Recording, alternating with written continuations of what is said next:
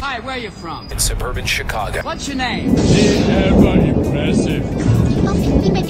But never duplicate. Hey everybody, what's going on? Eric C here. Hope you guys are doing good. I'm doing just great, and I'm kind of revisiting a old Chibson that I purchased probably two years ago. That has been sitting around, basically doing nothing. I ended up ordering all the parts for it, but I came up with a little bit of a snag in the build quality of this Chibson here. So don't mind the headstock if it says Gibson. This is not a Gibson. This is a look-alike wannabe replica of the Les Paul Snake Pit. All right, so the whole plan of buying the replica Snake Pit was basically to, you know, have a replica of the snake pit. I was going to change the logo on the headstock to be a Gibson logo, get rid of the Gibson logo that's on it.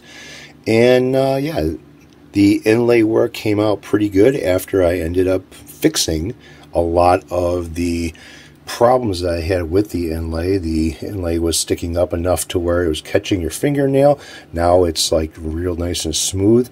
The frets were all replaced and redone. Um, yeah, so that was kind of my waste of time as far as working on this guitar goes. The other part of it was putting some of the detail back into the snake over here and on this side, and then fixing the head a little bit to have it more detail like the original. But uh, I don't think I'm going to end up doing that anymore. I've given up on the Chibson guitars. I'm not going to buy any of them anymore and the reason being is their quality. And although I should have seen this in the beginning, I really didn't. But here, I'm going to show you guys right now. So if I go ahead and take a bubble level and I place it right where the nut is supposed to be, you can see I'm, I'm pretty much pretty much level with where it's supposed to be. Hopefully, if it's not focusing on my hand, but focusing on the bubble. All right, so you can kind of see that. Now, if I take the same, not changing anything, and I place it on the top of the headstock, the bubble is all the way over to this side.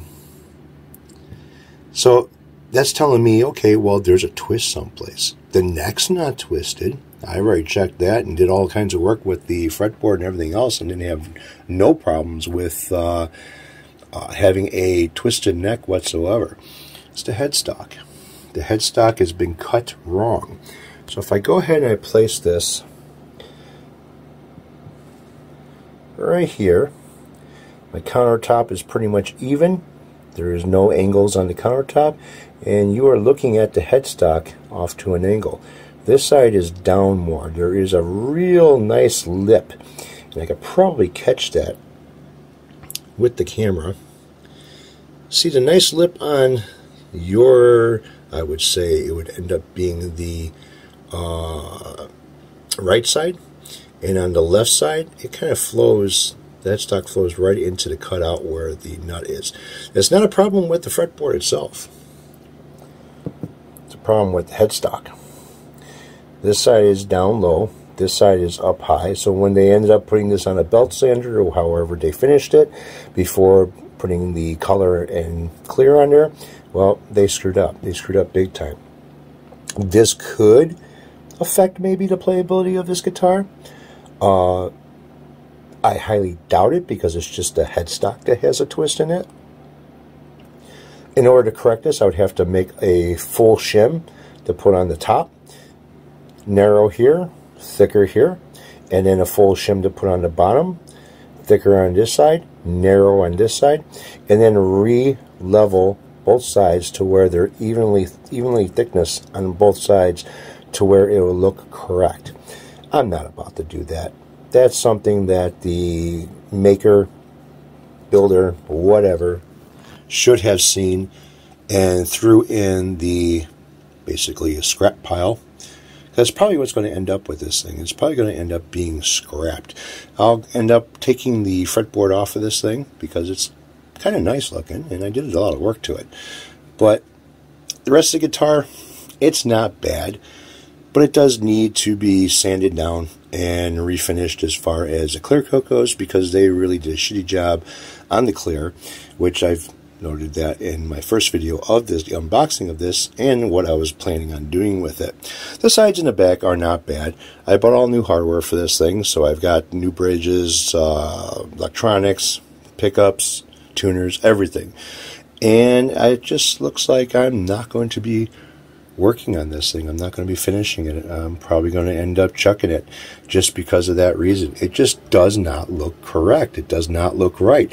And if you look down the neck, the neck is nice and straight. I mean, there is no problems as far as a twist goes in the neck, but just looking at the headstock, it gives that effect that there is a problem with the neck, but there isn't. And it's kind of like, you know, I'm looking at it right now, and the fretboard's straight, and the headstock is on an angle. So yeah, this is not going to be something that I would end up, you know, fixing and giving to somebody, you know, even as a giveaway, just because of that reason. So yeah, this is the end of buying Chibson guitars for me. I should have made this video a long time ago. I really didn't think about it until I started looking at a lot of the stuff that I've got because I have to do a lot of work in this room, especially with cleaning up all the dust and stuff off the computer. And uh, yeah, replacing the filter pads on the computer for the airflow. Uh, plus there is like dust galore up here that I need to kind of uh, kind of work on a little bit. Time for a spring cleaning in the workshop. So yeah, this thing here, yeah, it's going to be firewood.